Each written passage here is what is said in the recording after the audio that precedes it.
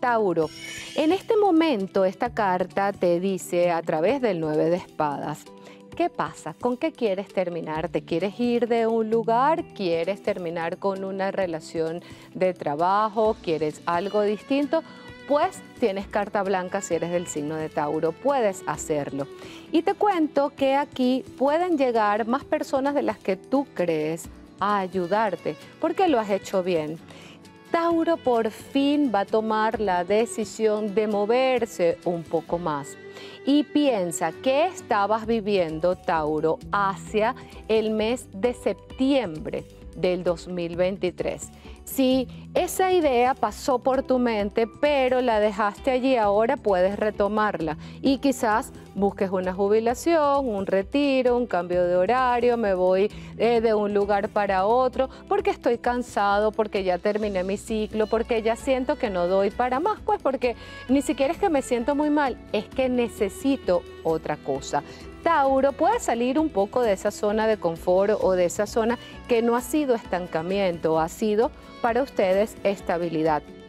Pero aprovecha la energía del mes de junio para tocar esas puertas de nuevas oportunidades, porque si te digo, Tauro, tú no te vas a quedar sin manifestar nada. De hecho, esta es una carta que te dice borrón y cuenta nueva, porque ya no quiero más, pero pueden venir también desde junio, ahora mismo, y hasta el mes de septiembre, esas ideas para manifestar y para co-crear algo distinto. Los compañeros de trabajo cambian, los jefes cambian, el espacio cambia y tú también te transformas. Eso me gusta mucho. Debes tener un poco de cuidado con la cervical, con el cuello. Puede ser el punto sensible. ¿Por qué? Porque para Tauro ha sido por of fin este movimiento de mirar hacia otros lados y ustedes estaban acostumbrados a esa rigidez o a eso que se les metía en la mente y es como tener un músculo que no se mueve cuando vas a hacer ese estiramiento o ese movimiento, claro que va a molestar. Eso está relacionado con tu cuello.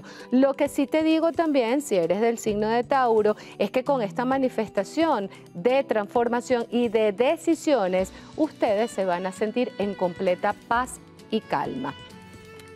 me río un poco porque el ángel que sale para ustedes es el ángel Ariel. Ariel yo siempre digo que es el que manifiesta los vientos de cambio, el que sopla, el aire, el nuevo respiro. Y mira lo que dicen aquí, la vida te conecta con un nuevo misterio, con una energía sanadora y con cerrar puertas.